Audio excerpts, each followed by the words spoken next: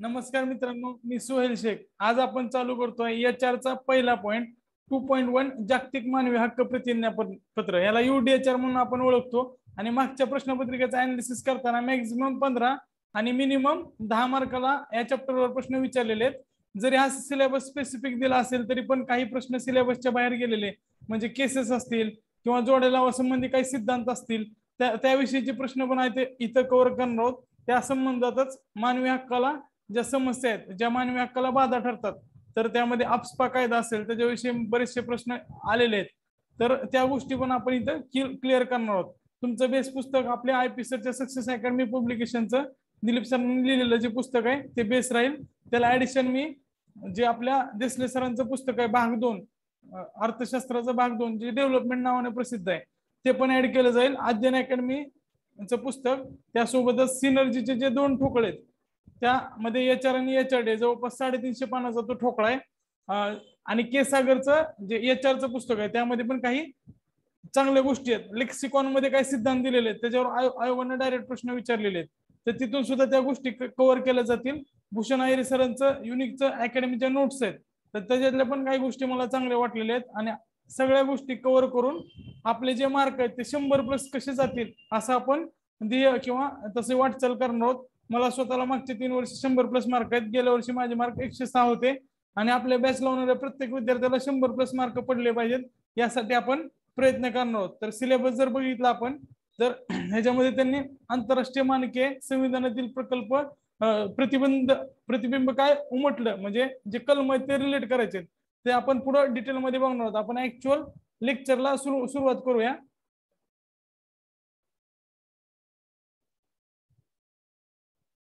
तर मित्रांनो मानवी हक्क म्हणजे काय? जी डेफिनेशन बघूया सगळ्यात आधी. मानवी हक्काची जर व्याख्या केली म्हणजे असे हक्क ते जन्मताच माणसाला मिळतात. त्यासाठी ते हिरावून घेतले जात नाही म्हणजे कुठल्याही संविधानाची गरज नाही कुठल्याही घटनेची गरज नाही किंवा कुठल्याही त्याला कायद्याची गरज नाही हक्क देण्यासाठी. ते डायरेक्ट मानवाला जन्मताच मिळतात त्याला मानवी हक्क म्हणतात. आता काही शास्त्रज्ञ आहेत त्याच्याविषयीचे ते हक्क आहेत ते तुम्ही तुमच्या पुस्तकात पण लिहून घ्या किंवा पेन पेपर सोबत ठेवा. हेराल लास्की हे मोठे तत्व व्यक्ती होते. फिलॉसॉफर होते. त्यांनी काय सांगितलं होतं तर मानवी हक्क म्हणजे अशी सामाजिक परिस्थिती की ज्याशिवाय माणसाचा विकासच शक्य नाही. मानवी हक्क म्हणजे अशी सामाजिक परिस्थिती की ज्याशिवाय माणसाचा विकासच शक्य नाही असं हेरॉल लास्की यांनी सांगितलं होतं. तर ते लास्कीचं वाक्य तुम्ही लिहून घ्या. त्यासोबतच आपले नोबेल पुरस्कार विजेते अमर्त्य सेन ज्यांना एकोणीशे अठ्ठ्याण्णव ला नोबेल पुरस्कार मिळाला होता अर्थशास्त्रातला त्यासोबतच नव्याण्णव ला आपण त्यांना पुढच्याच वर्षी अर्थशास्त्राचा नोबेल पुरस्कार मिळाल्यानंतर भारतरत्न पुरस्कार सुद्धा दिलेला होता. तर त्यांनी काय सांगितलं होतं तर विकास म्हणजे मानवी हक्कासाठी किंवा विकास प्रक्रियेसंबंधी त्यांचं मत होतं विकास प्रक्रियेसाठी मानवी हक्क आणि राजकीय किंवा सरकारच्या हस्तक्षेपाची गरज त्यांनी अधोरेखित केली होती. तर त्यांनी काय सांगितलं होतं की विकासासाठी मानवी हक्काची सुद्धा गरज आहे. तर त्या सुद्धा गोष्टी तुम्ही लिहून घ्या. ते वन लाईनरला सुद्धा प्रश्न येऊ शकतात. त्याच्यानंतर मानवी हक्काचे वर्गीकरण आपण बघूया. वर्गीकरण बघताना मित्रांनो बऱ्याच वेळा मराठीत जर बघितलं आपण तर मानवी हक्काचे वर्गीकरण हे ओक्स या तत्ववेत्याने केलेले तर त्याचं नाव लक्षात ठेवा. त्यांचं नाव आहे कार्ल ओक्स हे जे वर्गीकरण केलंय ते कुणी केलंय? कार्ल ओक्स याने. कार्ल ओक्स हे नाव पण लक्षात राहू द्या. पुस्तकापेक्षा एक्स्ट्रा म्हणजे जवळपास डबल माहिती मी एक्स्ट्रा सांगणार आहे. काही गोष्टी तुम्हाला लिहून घ्याव्या लागतील काही गोष्टी फक्त ऐकून घ्या संकल्पना क्लिअर करून घ्या आणि पुढे जा. ज्या गोष्टी मी ऍडिशनल लिहून देतोय ते तुम्ही पण लिहिणं गरजेचं आहे जेणेकरून तुम्हाला शंभर प्लस मार्क मिळवण्यासाठी मदत होईल. आता नागरिक त्यांनी तीन टप्प्यात सांगितले मानवी हक्काचं वर्गीकरण कार्ल ऑक्स यांनी त्यांनी फर्स्ट जनरेशन सेकंड जनरेशन आणि थर्ड जनरेशन मराठीत बघितलं तर त्याला लाट असं म्हणतात पहिल्या पिढीचे दुसऱ्या पिढीचे आणि तिसऱ्या पिढीचे अधिकार. आता पहिल्या पिढीचे जे अधिकार आहेत फर्स्ट जनरेशन त्याच्यामध्ये कुठले हक्क येणार आहेत? तर नागरी हक्क आणि राजकीय हक्क येणार आहेत. त्याला आपण इंग्लिशमध्ये सिव्हिल आणि पॉलिटिकल राईट म्हणतो. आता ही फर्स्ट जनरेशनच का मित्रांनो? तर तुम्हाला माहिती आहे सगळ्यात आधी मानवी हक्काची सुरुवात झाली असेल कुठले अधिकार मान मागितले असतील तर मानवाने राजकीय अधिकार मागितले. ग्रीसमधले जे आधी आधीच्या काळात ज्या नागरी वसाहती होत्या किंवा त्याला आपण एक छोटे छोटे त्यांचे कबिले असायचे म्हणजे छोटे छोटे टोळ्या असायच्या तिथं मतदान करून त्या गावाचे इलेक्शन वगैरे घेतलं जायचं. तर त्यासाठी ग्रीस किंवा युरोपियन संस्कृती यासाठी प्रसिद्ध होती. तर नागरी हक्क आणि राजकीय हक्क हे सुरुवातीला माणसाला मिळाले. त्यामुळे पहिल्या लाटेतील किंवा फर्स्ट जनरेशन राईट असं म्हणतो. आणि ते नकारात्मक आहेत आणि त्यांचा जो कलर आहे तो निळा कलर आहे. तर हे जर आपण ब्लँक करून लिहिले तर मी क्लिअर करतो. म्हणजे तुम्हाला चांगलं व्यवस्थित लक्षात येईल.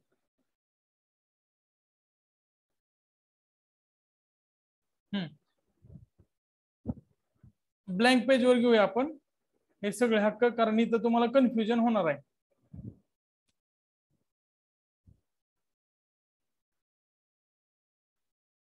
एक एक गोष्टी बघूया मित्रांनो आपण. तर बघा कार्ल वॉक्स यांनी हे वर्गीकरण केलेलं आहे. कार्ल वॉक्स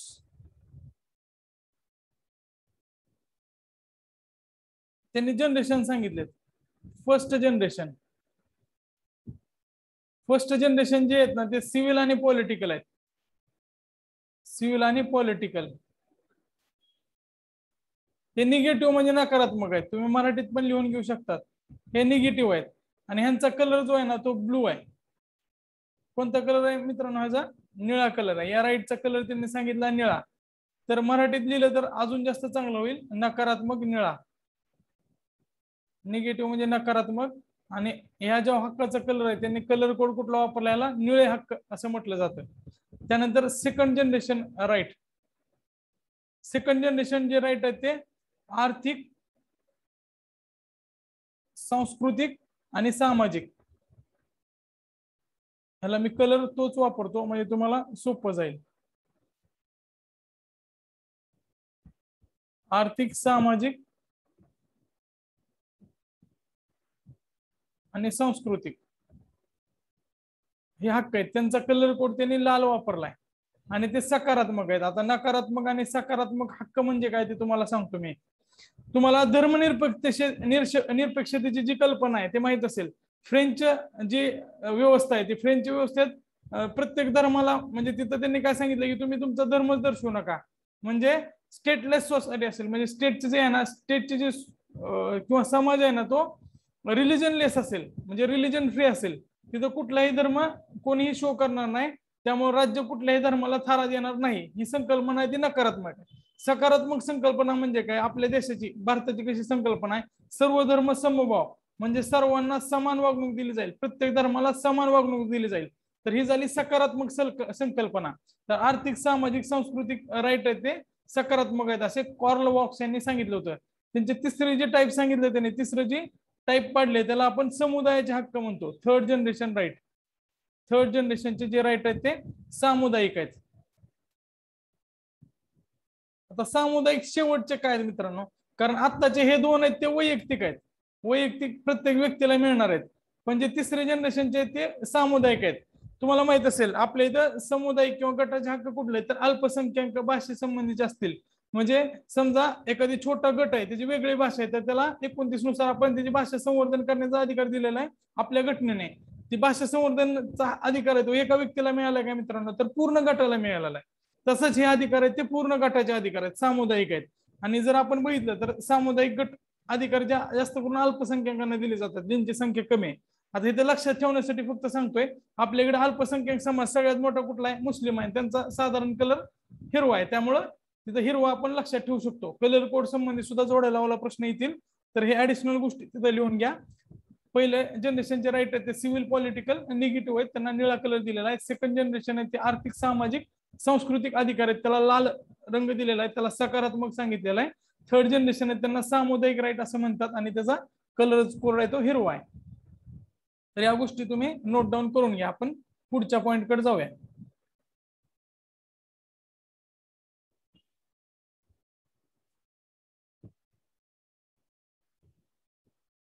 त्याच्यानंतर बघा मित्रांनो अजून एक गोष्ट ऍडिशनल तुम्हाला इथं सांगावीशी वाटते मला जे परत पण विचारू शकतात.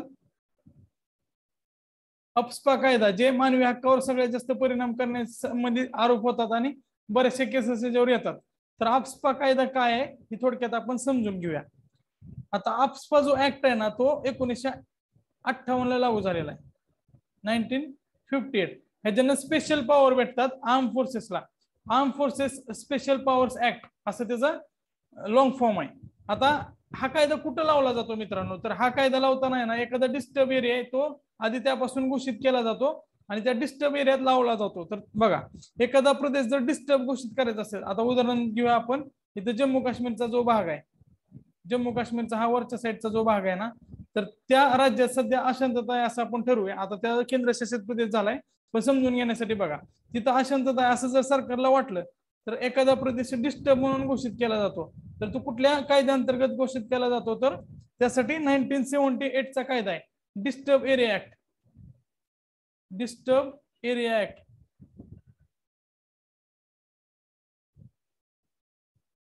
हा जो कायदा आहे तो नाईन्टीन सेव्हन्टी एटचा आहे मित्रांनो. या नाईन्टीन सेव्हन्टी एटच्या कायद्याअंतर्गत डिस्टर्ब एरिया ऍक्ट घोषित केला जातो आणि तो किमान तीन महिने राहतो. किमान तीन महिने या कायद्याअंतर्गत ते राहणार आहे आणि त्या घोषित केल्यानंतर तिथं आपस्पा कायदा आपोआप लागू होणार आहे. आता हा जो कायदा आहे तो सध्या कुठं कुठं आहे ते एक लक्षात ठेवणं गरजेचं आहे. सध्या आसाम नागालँड आसाम नागा मणी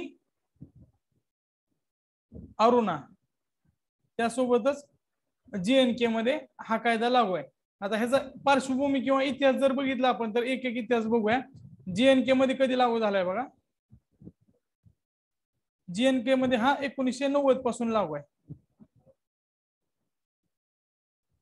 त्यानंतर पंजाबमध्ये हा कायदा एकोणीसशे त्र्याऐंशी ते सत्त्याण्णव लागू होता. खलिस्तानी चळवळ तुम्हाला माहीत असेल बिंद्रन सिंग वाले तर एकोणीसशे त्र्याऐंशी ते सत्त्याण्णवच्या काळात अप्सपा कायदा पंजाबमध्ये लागू होता. आणि सध्याच म्हणजे काही दिवसापूर्वीच मेघालय मधून तो काढलेला आहे. दोन हजार अठराला मेघालय मधून आहे. हे पण गोष्ट लक्षात ठेवा. कॉनरेड संगम हा सध्या भाजपच्या पाठिंब्याने तिथं मुख्यमंत्री आहेत. मेघालयमधून काढला युरोम शर्मुला मणिपूरची आयन लेडी म्हणून ओळखलं जाते. त्यांनी पण मोठं आंदोलन केलं होतं. तर या गोष्टी लक्षात ठेवा. आता थोडक्यात हा कायदा काढा किंवा हा कायदा रद्द करावा अशी मागणी कुणी कुणी केली होती. तर त्याच्यामध्ये कायदा मागे घ्या असं मागणी करण्यामध्ये काही समित्या किंवा काही व्यक्ती आहेत किंवा काही संस्था आहेत. असं कोणी कोणी मागणी केली आपण बघूया. पहिलं आहे सेकंड ईआरसी वीर वीरप्पा मोहिलीच्या अंडर जी सेकंड ऍडमिनिस्ट्रेटिव्ह रिफॉर्म कमिशन होतं. प्रशासकीय सुधारणा आयोग असं म्हणतो. त्यांनी मागणी केली होती वीरप्पा मोहिलीने. की हा कायदा मागे घेतला पाहिजे. वीरप्पा मोहिलीच्या अध्यक्षतेखाली ही समिती होती. त्याच्यानंतर पुढं जीवन रेड्डी समिती होती दोन हजार पाचची. जीवन रेड्डी समिती. केंद्र सरकारची समिती होती दोन हजार पाचची. त्यांनी पण सांगितलं होतं हा कायदा मागे घेतला पाहिजे. त्यानंतर तिसरी कुठली समिती आहे? तर संतोष हेगडे समिती. संतोष हेगडे समिती. यांनी सुद्धा सांगितलं होतं हा कायदा मागे घ्या. आणि युनोनं स्वतः दोन हजार बारा मध्ये विनंती केली होती की भारताने हा कायदा मागे घ्यावा. युनायटेड नेशन ऑर्गनायझेशनने सुद्धा दोन हजार बाराला सांगितलं होतं की आपस्पा कायदा मागे घेतला पाहिजे. तर ह्या काही गोष्टी आपस्पा कायद्यासंबंधी महत्त्वाच्या होत्या. आता आपण मानवी हक्काकडे परत अजून जाऊया जो आपला कोर पार्ट आहे.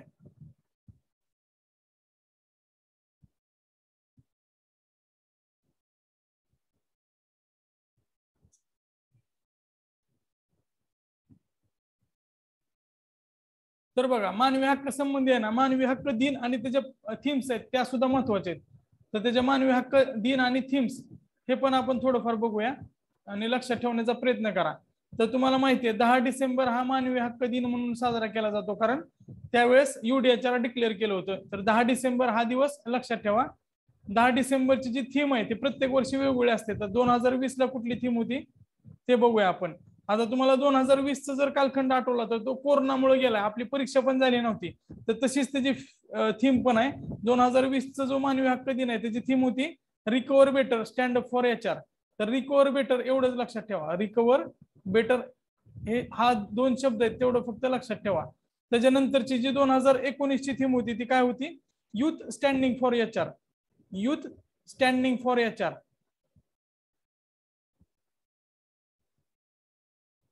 आता आपली जी नवीन एडिशन येणार आहे आय पी सरांच्या पुस्तकातली ती साधारण फेब्रुवारी पर्यंत येईल. त्यामध्ये बऱ्याच गोष्टी ऍड असतील.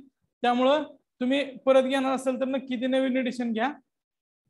दोन हजार अठराची एक थीम बघूया कारण जोड्या लावाला अशा पद्धतीच्या थीमचे प्रश्न विचारलेले आहेत. ते नॉर्मल प्लेन होती stand up for H R तर या ज्या थीम्स आहेत ते पण एकदा लक्षात असू द्या. आता आपण पुढे जाऊया. आता मानवाधिकारासंबंधीचे काही सिद्धांत आहेत मित्रांनो? सिद्धांत सुद्धा जे जोड्या लावायला प्रश्न येतात तर तशा पद्धतीचे प्रश्न येऊ शकतात. तर ते सिद्धांत बघूया आपण ब्लँक पेजवर मानवी हक्कासंबंधीचे सिद्धांत. काही मोजके सिद्धांत बघूया मित्रांनो आपण? तर बघा. मानव विकास सिद्धांत.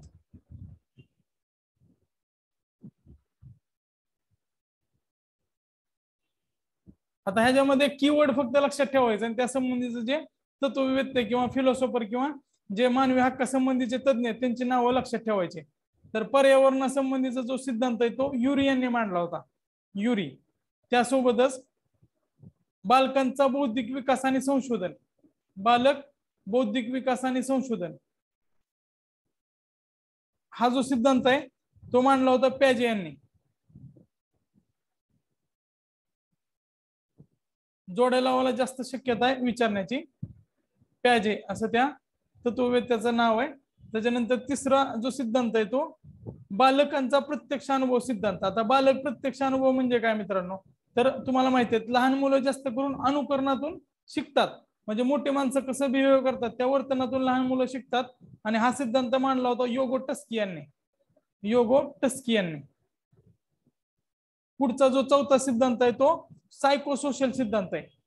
सायको सोशल सिद्धांत. हा मांडला होता एरिक्सन यांनी. त्याच्यानंतर पाचवा सिद्धांत आहे तो वर्तनवादी किंवा त्याला बिहेवियरल असं म्हटलं जातं. वर्तनवादी सिद्धांत. किंवा इंग्लिशमध्ये बिहेवियरल असं लिहून घ्या तो मांडला होता वॅटसन यांनी. तर हे पाच सिद्धांत ह्याच्यावर जोडे लावायची प्रश्न येण्याची शक्यता किंवा वन लाईनर जरी विचारलं तर तुम्हाला आलं पाहिजे. त्याच्यानंतर आता मानवी हक्कासंबंधीचे काय गोष्टी बघूया. पुढच्या पेजेसवर जातोय आपण.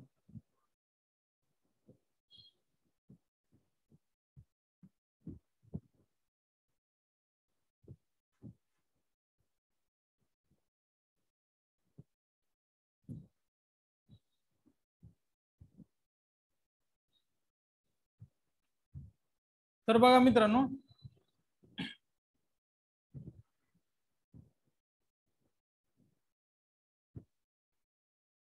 आता संयुक्त राष्ट्र संघाने सोळा डिसेंबर एकोणीसशे सहासष्ट ला परत दोन करार पण केले होते. त्याच्या आधी युडीएचआर एकोणीसशे अठ्ठेचाळीस लाच मंजूर झाला होता पण एकोणीसशे सहासष्ट ला दोन करार पण झाले होते.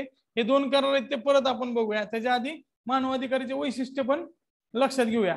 आता ह्या दोन आहेत ते तीन जानेवारीला नाही त्यातलं एक आहे ते तीन जानेवारीला आणि दुसरं आहे ते तेवीस मार्चला आहे. तर ते मागे पुढे आहेत. हा जो नागरी व राजकीय आहे तो तीन जानेवारीला आणि पुढचा आहे तो तेवीस मार्चला आहे. ते करेक्शन करून घ्या. पुस्तकात बरेच ज्या करेक्शन आहेत त्या मी तुम्हाला सांगत राहीन. आणि ज्यावेळेस आपले नवीन एडिशन येईल त्यामध्ये ह्या करेक्शन सगळ्या निघालेले असतील. तर ते पण लक्षात ठेवा. दोन्ही जे कायदे दोन्ही जे करार आहेत ते एकोणीसशे सहासष्टलाच मांडले गेले होते आणि एकोणीसशे शहात्तरला ते मंजूर झाले. त्यातला नागरी व राजकीय तीन जानेवारीला झाला आणि आर्थिक सामाजिक हा तेवीस मार्चला झाला. तेवढं लक्षात असू द्या. त्यानंतर आता आपण बघूया मानवाधिकाराचे वैशिष्ट्य काय. तर वैशिष्ट्यावर बऱ्याच वेळा प्रश्न आलाय. मानवाधिकार हे बहुआयामी आणि गतिशील संकल्पना असून सामाजिक सांस्कृतिक आर्थिक राजकीय घटकांचा परस्पराशी संबंध असतो. थोडक्यात ह्याचा अर्थ काय? मानवी हक्क ही होलिस्टिक संकल्पना आहे. ती एकमेकात अशी गुंतलेली आहे. त्यामध्ये सामाजिक आर्थिक राजकीय असं एकमेकाशी संदर्भ आहे त्याचा. आता जे मानवी हक्क आहेत ते जन्मताच माणसाला प्राप्त होतात. त्यामुळे ते आपोआप प्राप्त होतात. त्यासाठी कुठल्या संविधानाची कुठल्या कायद्याची कुठल्या राजाची किंवा कुठल्या व्यक्तीची गरज नाही की त्याला देण्याची. हे अधिकार सर्वांना सारखे असतात. म्हणजे भेदभाव अपेक्षित नसतो. म्हणजे युनिव्हर्सल असतात. त्यामधून कुणाला वगळता येत नाही. स्त्री पुरुष म्हणजे कुठलाच जेंडर असेल कुठला धर्म असेल किंवा कुठला समाज असेल तर त्या कारणावरून त्याला वगळता येत नाही. आता हे कायदे फलस्वरूप असतात म्हणजे यांना कायदे केल्याशिवाय अस्तित्व प्राप्त होत नाही. पण त्याचा आउटकम असेल म्हणजे न्यायालयाकडून दाद मागायचं असेल तर त्यासाठी कायदे करावे लागतात. आता अस्पृश्यता निर्मूलन कायदा केल्यानंतर आपल्यातली अस्पृश्यता निर्मूलन झालं. त्यासाठी आपण कायदा करावा लागला. किंवा अॅट्रॉसिटीचा कायदा केला. त्याशिवाय ते म्हणजे फलस्वरूप नसतात. मानवाधिकार हिरावले जाऊ शकत नाहीत. हे हिरावता येत नाहीत. मानवाधिकार हे मर्यादित असतात. मर्यादित का असतात? जर समजा तुमचा अधिकारांचा अतिरेक झाला तर ते दुसऱ्यांचे अधिकार हिरवल्यासारखे म्हणजे एखाद्याच्या स्वातंत्र्याचा अतिरेक हा दुसऱ्याच्या स्वातंत्र्याला वाद असतो. त्यामुळे त्यांनी त्याच्यामध्ये सांगितलं की हे मर्यादित आहेत. म्हणजे ह्याच्यावर व्हॅलिड प्रमाणात निर्बंध आहेत. मानवाधिकाराचे स्वरूप हे सार्वजनिक आहेत म्हणजे युनिव्हर्सल आहेत.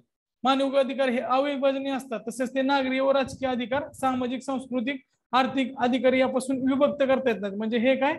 अविभाजनीय आहेत इनडिस्ट्रिक्टेबल आहेत एकमेकात गुंतलेले आहेत आणि हे वेगळे करता येत नाहीत. तर ही पण गोष्ट लक्षात असू द्या.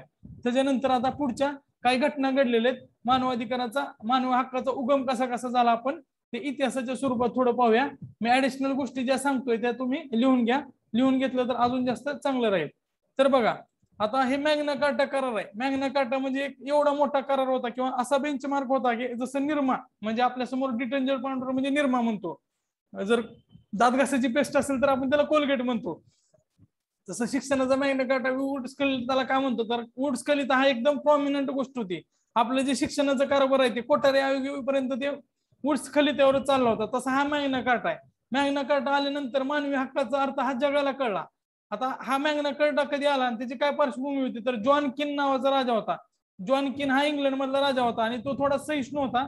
त्याला वाटलं होतं की आपल्या जनतेला आपण काय अधिकार दिले पाहिजेत. त्यामुळे त्यानं काय केलं? तर अधिकार दिले आणि ते अधिकार मॅग्ना कार्टेच्या स्वरूपात दिले. तर तो इंग्लंडचा राजा होता जॉन किन. त्यानं पंधरा जून दोनशे दोन बाराशे पंधरा.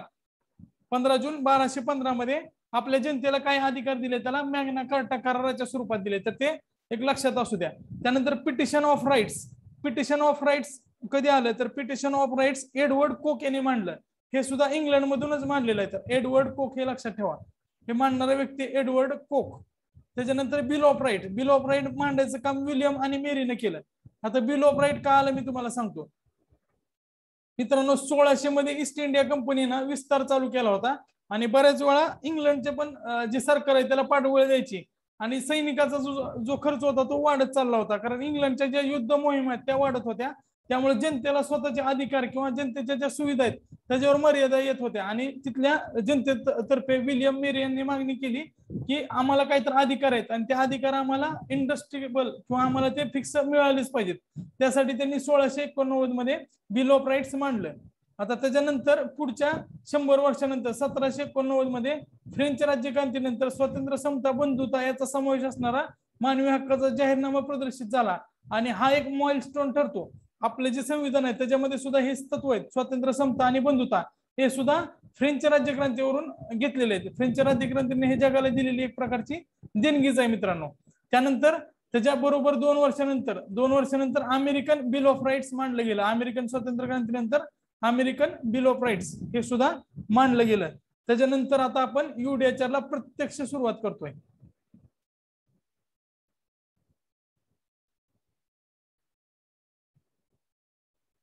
आता बघा. आता हे मांडलं कसं किंवा ह्याचं काय दर्जा काय तर त्यामध्ये बघा संयुक्त राष्ट्राचे जे जाहीरनामे असतात प्रिन्सिपल असतात गाईडलाईन्स असतात रूल्स असतात रिकमेंडेशन असतात तर ते इंग्लिशमध्ये लक्षात ठेवा. डिक्लेरेशन प्रिन्सिपल गाईडलाईन्स रूल्स आणि रिकमेंडेशन हे बंधनकारक नसतं. फक्त सांगितलेलं असतं की असं करायला पाहिजे. जसं डब्ल्यूएचओ डब्ल्यूएचओ काय सांगतं की तुम्ही हे औषध वापरले पाहिजेत. त्याने गाईडलाईन दिल्यानंतर आपण त्यानुसार करतोय. आता रेमडेसिवीर वापरा म्हणून गाईडलाईन दिली त्याने फक्त. तर आपण रेमडेसिवीर कोरोनाला वापरायला लागलो. अशा स्वरूपाचे गाईडलाईन्स रूल्स प्रिन्सिपल डिक्लेरेशन आणि रिकमेंडेशन आहेत. पण ह्यामधील जे करार आहेत कन्व्हेन्शन आहेत स्टॅट्यूट्स आहेत किंवा प्रोटोकॉल आहेत. म्हणजे कन्व्हेन्शन म्हणजे करार स्टॅट्यूट्स म्हणजे कायदे किंवा प्रोटोकॉल्स आहेत. जे राज्य स्वीकारणार आहेत त्या स्वीकार करणाऱ्या ही गोष्ट महत्वाची आहे. स्वीकार करणाऱ्या देशावर ते बंधनकारक असतात. कुणावर बंधनकारक आहेत मित्रांनो? स्वीकार करणाऱ्या देशावर फक्त ते बंधनकारक असतील. कुठले? करार प्रोटोकॉल आणि कायदे हे लक्षात ठेवा. आता ह्युमन राईटचा जो करार त्याच्यामध्ये तीन करारांचा समावेश होता. आधीच आपण बघितलं. आंतरराष्ट्रीय आर्थिक सामाजिक आणि सांस्कृतिक करार एकोणीसशे सासष्टचा जो सोळा डिसेंबरला मांडला होता. हे दोन्ही सोळा डिसेंबरलाच मांडलेत. त्यातला नागरी व राजकीय हा त्याच्या आधी तीन जानेवारी एकोणीसशे शहात्तरला मंजूर झाला आणि हा तेरा मार्च एकोणीसशे शहात्तरला मंजूर झाला. तर हे दोन्ही एकोणीसशे सहासष्टचे त्याच्या आधी एकोणीशे अठ्ठेचाळीसचा युडेचर आहे. युडेचरा संबंधी आपण डिटेलमध्ये बघूया. तर ते पुढच्या पेजवर जाऊया आपण. ह्यात बरीच गोष्टी एक्स्ट्रा सांगणार आहे मी. बरीच माहिती तुम्ही लिहून घ्या. वरच्या साईडला थोडा स्पेस मुद्दा म्हणून ठेवतो मी. मला लिहिता यावं म्हणून.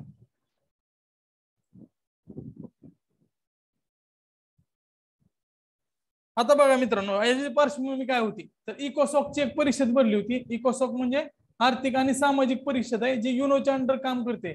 या परिषदेने दहा डिसेंबर ही तारीख पण महत्वाची आहे मित्रांनो. योगायोगाने एकोणीशे अठ्ठेचाळीस ची तारीख हीच आहे. पण दहा डिसेंबर एकोणीशे शेहेचाळीस ला मानवी हक्क आयोग स्थापन केला. कमिशन लक्षात ठेवा. मानवी हक्क आयोग स्थापन केला आणि या आयोगावर युडीएचआरची ची मसुदा तयार करण्याची जबाबदारी सो- सोपवली. आता हा जो आयोग आहे तो दोन हजार सहा ला परिषदेत रूपांतरित झालाय बघा. मानवी हक्क म्हणजे एचआर ची कमिशन आहे. ह्युमन राईट कमिशन आहे ते काउन्सिलमध्ये रूपांतरित झालंय. हा दोन हजार सहाला कशात रूपांतरित झालाय? रूपांतर झालंय याचं मानवी हक्क परिषदेत रूपांतरित झालाय. तर ते पण एक लक्षात असू द्या. तर हा मसुदा तयार करण्याची जबाबदारी दिली होती त्यासाठी मसुदा समिती तयार केली होती.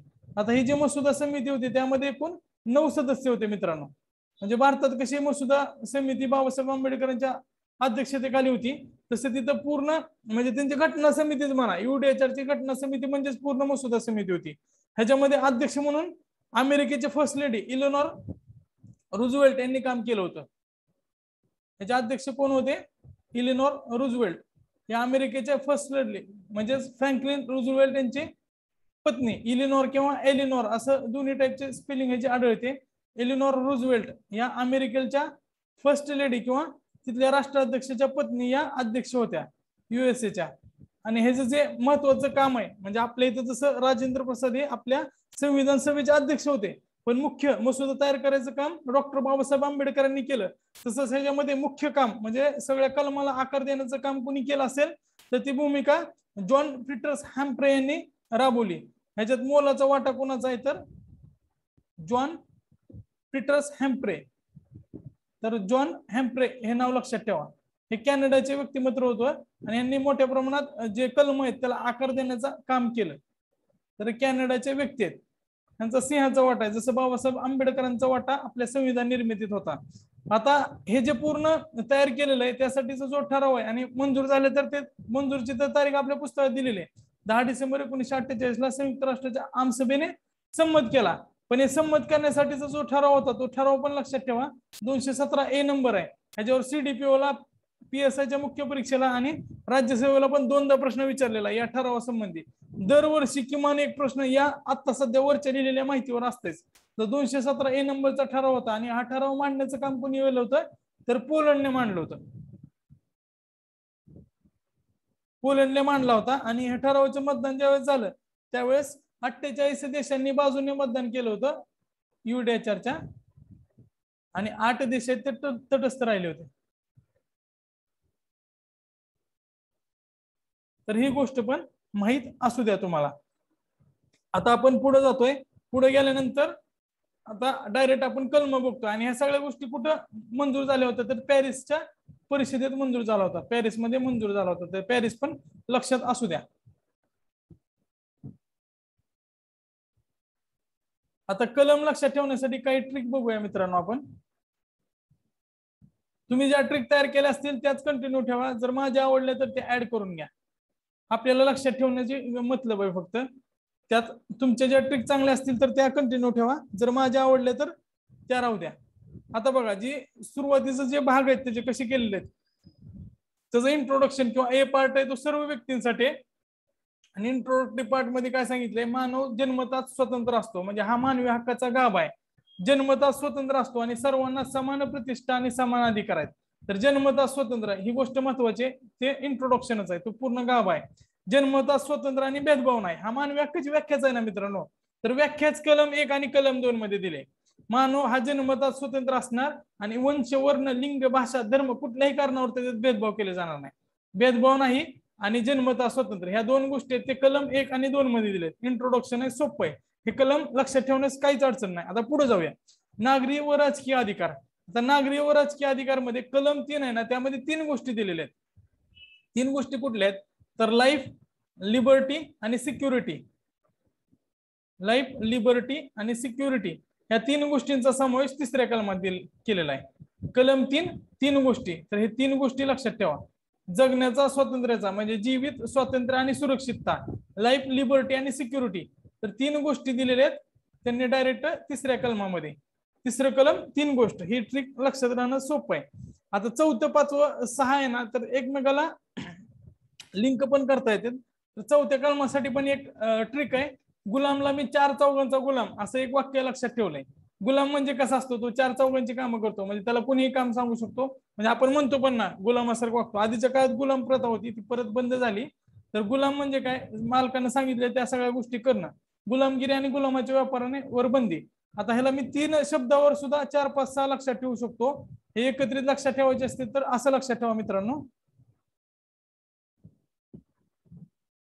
गुलामांचा छळ झाल्याने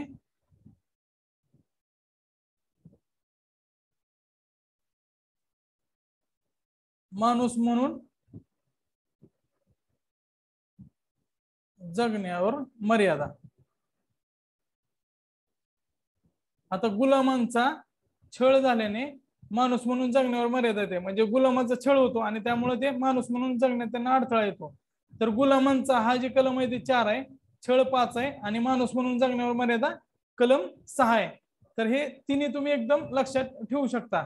आता जे पुढचं कलम आहे ते काय?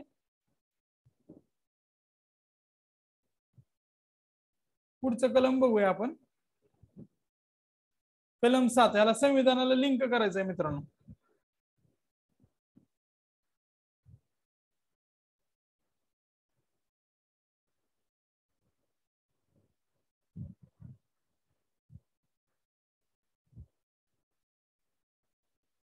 आता कायद्याचे समान संरक्षण त्याला आपण सात दुने चौदा सात गुणले दोन चौदा. आणि आठ चौक बत्तीस डायरेक्ट आपल्या संविधानाला लिंक करायचे कारण आपल्या सिलेबसचाच पॉईंट आहे. आपल्या संविधानातील प्रतिबिंब असा सिलेबस मधला पॉइंट आहे. त्यामुळे सात दुने चौदा आणि आठ चौक बत्तीस असं आपण डायरेक्ट लिंक करू शकतो. त्यानंतर नऊ आहे ती बेकायदेशीर अटक आहे. आपल्या संविधानात जर बघितलं तर ते बावीसव्या कलमासहित आहे. मग ह्यातनं दहा मान्यच करायचं फक्त आणि बावीसवे कलम. सात आठ लक्षात ठेवा. सात दोन्ही चौदा आठ चौक बत्तीस. चौदा कायद्याचे समान संरक्षण आणि बत्तीस म्हणजे आपल्या इथं कसं घटनात्मक उपाययोजनेचा अधिकार आहे. तसं इथं हक्कांचे उल्लंघन झाल्यानंतर उपाययोजनाचा अधिकार दिलेला आहे. नऊला डायरेक्ट बावीस व कलम आहे. बेकायदेशीर अटक स्थानबद्धता आणि प्रतिबंधता ह्या संबंधीचे जे संविधानाचं कलम आहे ते हित आहे. आता कलम दहा आहे ना ते दहा डिसेंबर वरून लक्षात ठेवलंय. दहा डिसेंबर मानवी हक्क आणि न्याय दिन आहे. आणि कलम दहा हे सुद्धा निष्पक्ष न्याय मिळण्याचा अधिकार हे सुनिश्चित करतो. अकराला मी अकरा अकरा असं लक्षात ठेवलंय. अकरा अपरा. म्हणजे अपराध सिद्ध होई झाल्याशिवाय त्याला बकरा बनवता येणार नाही. म्हणजे काय? अपराध सिद्ध होईपर्यंत तो निरपराध. अकरा अपरा. अपराध सिद्ध होईपर्यंत त्याला बकरा बनवणार नाही. म्हणजे त्याला काय? बळी देणार नाही किंवा त्याला आपण कुठल्या गुन्ह्यासाठी शिक्षा देणार नाही. अपराध सिद्ध होईपर्यंत त्याला निरपराध मानण्यात येईल. आता बारावा कलमासाठी एक गोष्ट सांगतोय मित्रांनो. बारा वाजल्यानंतर प्रत्येकाला झोपेची गरज असते. त्यामुळे प्रायव्हसीची गरज असते. त्यामुळे कलम बारा तर मी रिलेटेड केलंय. काही गोष्टी हास्यास्पद आहेत पण आपल्याला लक्षात ठेवायची मतलब आहे तर बारासाठी प्रायव्हसी आहे. तेरा जे कलम आहे. कलम तेरा. ते राष्ट्राच्या हद्दीत संचार करण्याचं स्वातंत्र्य आणि वास्तव्याचा अधिकार आहे. तेरासाठी मी तेरा देश मेरा देश असं लक्षात ठेवलंय. तेरा देश म्हणजे तुझ्या देशात जाता येईल आणि दुसऱ्या माझ्या देशात पण तुला येता येईल. राष्ट्राच्या हद्दीत संचार करण्याचं वास्तव करण्याचं आणि देश सोडून देण्याचं स्वातंत्र्य असेल. तेरा तेरा देश मेरा देश असं लक्षात ठेवा. तेरा तेरा देश मेरा देश. तुझ्या देशात जाता येईल माझ्या देशात येता येईल. आता हे देशात गेल्यानंतर चौदा त्याच्यावर डिपेंड आहे. तर समजा एखाद्या देशात छळ होत असेल तर त्या छळापासून सुटकेसाठी दुसऱ्या देशात आश्रय मागण्याचा अधिकार असेल. आता समजा अफगाणिस्तानमध्ये छळ होतोय तर ते दुसऱ्या देशात जात आहेत. अफगाणिस्तान मधून काही लोक भारतात पण आलेत तर छळापासून सुटकेसाठी इतर देशात आश्रय घेण्याचा अधिकार असेल. हे आपण कुठल्या कलमानं सांगतोय मित्रांनो? एकच मिनिट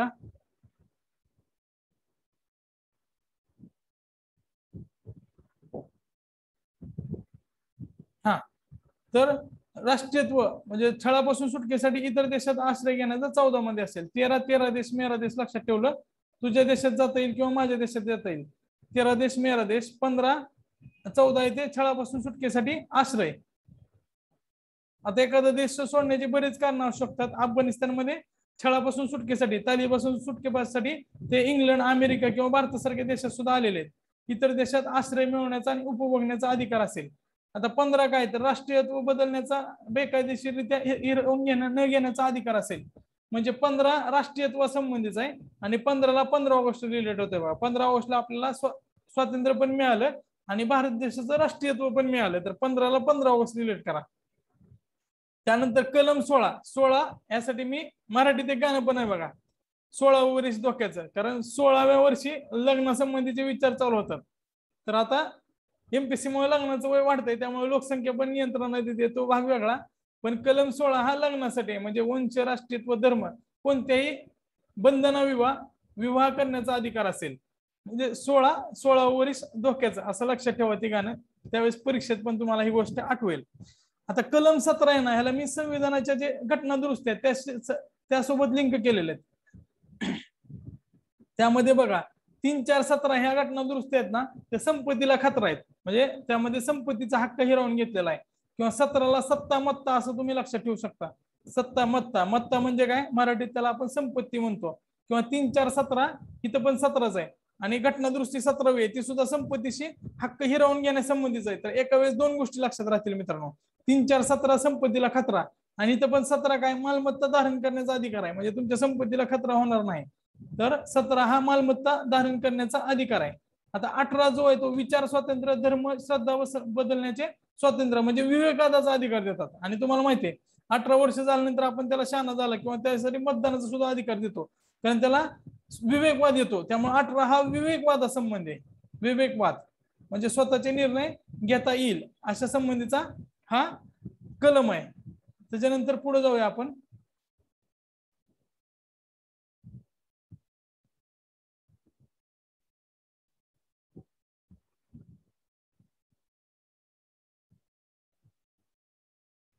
आता बघा एकोणीसवा जे कलम आहे ना ते डिक्टो टू डिक्ट आपल्या एकोणीस ए ला मॅच होते बघा.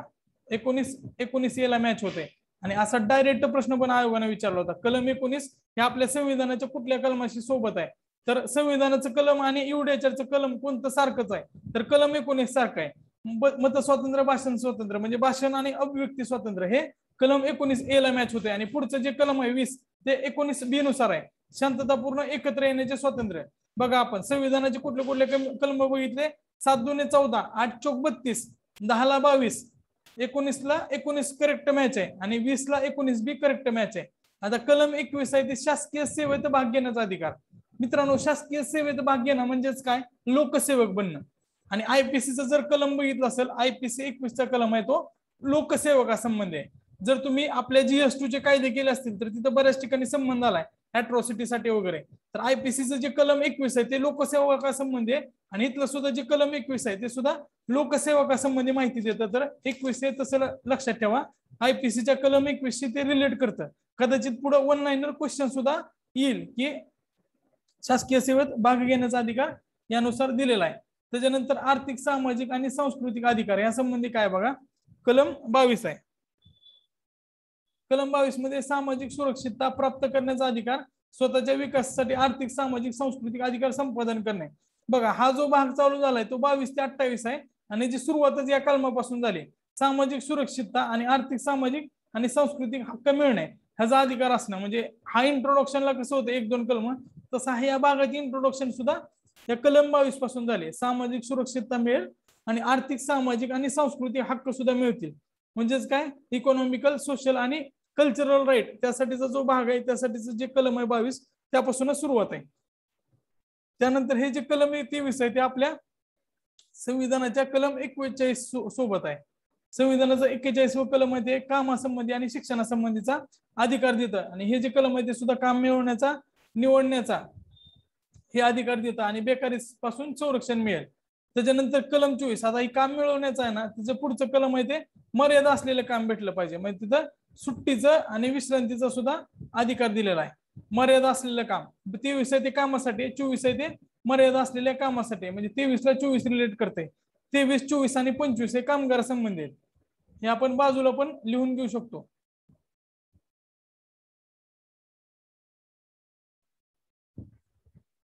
एक मिनिट.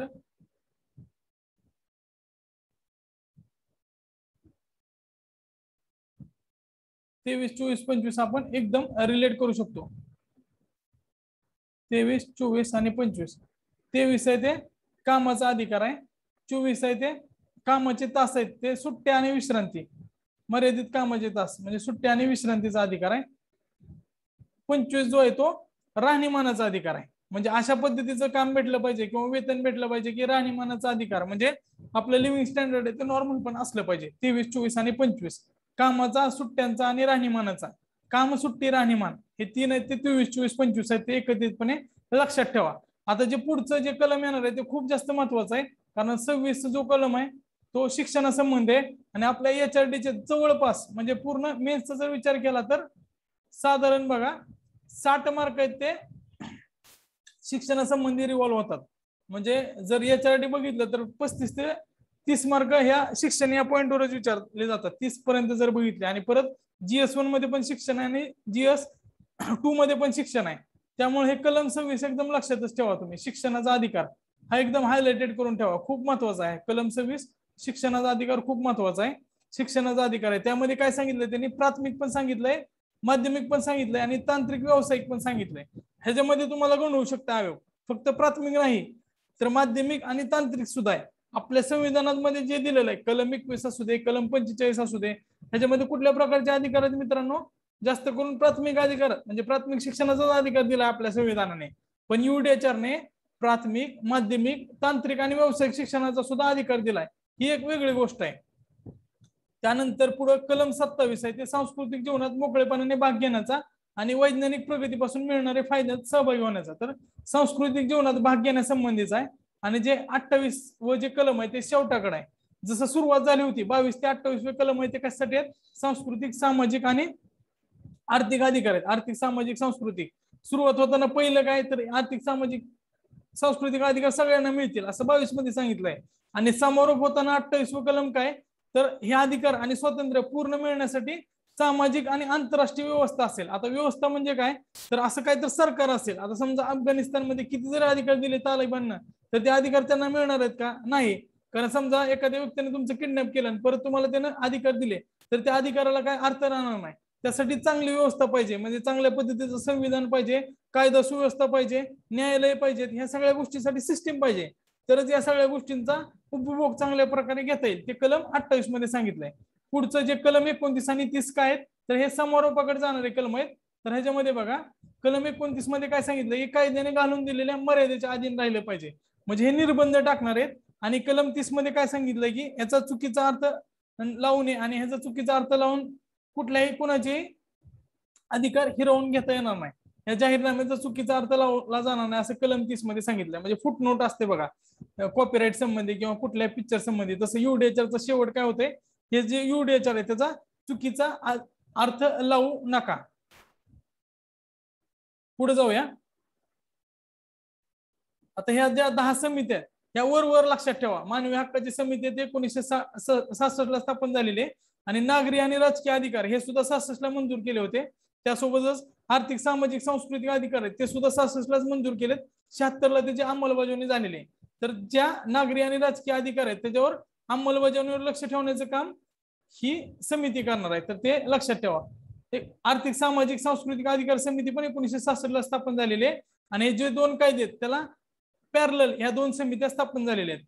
आता वांशिक भेदभावासाठी जो कायदा आहे तो रेशियल डिस्क्रिमिनेशन त्याला सीआरसी असं म्हणतो. कन्व्हेन्शन ऑन रेशियल डिस्क्रिमिनेशन वर होता. तर तो कायदा एकोणीसशे पासष्टचा आहे. आणि त्यासाठीच भेदभाव निर्मूलनासाठी ही कमी समिती काम करते. त्यानंतर सीडो साठी एक कमिती एकोणीशे एकोणऐंशी ला झालेल्या कायद्याविषयी. आता ते कायदे सगळे मी व्यवस्थित पुढे लिहून देणार आहे. त्यावेळेस तुम्हाला चांगलं समजतील. नाहीतर आधी आपण ते कायदेच बघूया जेणेकरून तुम्हाला परत या समित्या बघताना काही अडचण येणार नाही. आता मित्रांनो मी जशा पद्धतीने लिहून घेतले तसे तुम्ही पण लिहून घ्या. तुम्हाला ते एकदम चांगल्या पद्धतीने समजतील. आता हे वाक्य असं लक्षात ठेवा. मी जसं म्हणतोय तसं. वंश महिला आणि बाल अपंग. हे चार आहेत ते कायदे खूप महत्त्वाचे आहेत. वंशसाठीचा जो कायदा आहे तो एकोणीसशे पासष्ट ला अस्तित्वात आला होता. त्याच्यानंतर पुढचा जो कायदा आहे महिला संबंधीचा सीडॉ त्याचा जो वर्ष आहे ते एकोणीसशे एकोणऐंशीचा आहे. त्यानंतर बालक संबंधी एकोणीसशे एकोणनव्वद आहे. आणि अपंगासाठीचा तो दोन हजार सहा मध्ये. तर हे दहा वर्षांनी महिलानंतर बाल बालकांचा कायदा आलेला. आणि हा जो लागू झालाय तो चार वर्षांनी लागू झालाय. हा दोन वर्षांनी लागू झालाय. हा पुढच्याच वर्षी लगेच लागू झालाय. हा पण पुढच्या वर्षी लागू झालेला आहे.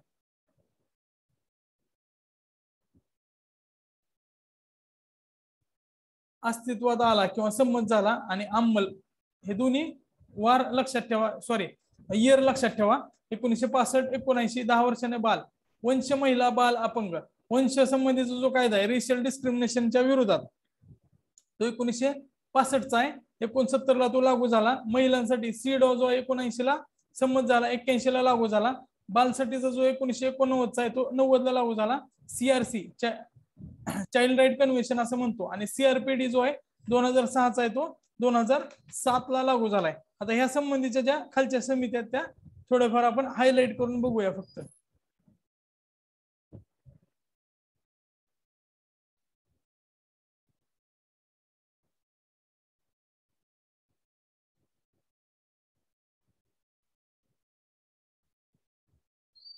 तर सी डावशी लक्ष ठेवणारी महिला विरोधी भेदभाव निर्मूलन समिती आहे. छळा विरोधी समिती एकोणीसशे चौऱ्याऐंशी ला जो कन्व्हेन्शन झाला त्या कन्व्हेन्शनवर देखरेख सम- समिती ही ठेवते. बाल हक्कासाठीची पण समिती आहे. त्याच्यानंतर पुढच्या दोन समित्या कुठल्या आहेत? विकलांग म्हणजे सीआरपीडी जो कायदा आहे दोन हजार सहा ला संमत झाला आणि दोन हजार सात ला लागू झाला. त्यासाठी आणि छळ विरोधी कुठला आहे? तर optional protection call to convention against torture. हे दोन हजार सात ला ती समिती स्थापन झाली. आता टॉर्चर म्हणजे काय? एखाद्या देशाचे सैनिक वगैरे पकडले तर ते दुसऱ्या देशात त्यांना टॉर्चर करायचं नाही. किंवा एखाद्या देशाचा नागरिक चुकून दुसऱ्या देशात गेला. आपला सरबजीत सिंग संबंधीची सुद्धा घटना घडली होती. त्यासाठी हा आंतरराष्ट्रीय करार आहे. मित्रांनो इथपर्यंत आपण आंतरराष्ट्रीय करार बघितले. आता पुढचा पार्ट हा पुढच्या नेक्स्ट लेक्चरला ह्याच्या पार्ट टू ला बघून घ्या. धन्यवाद.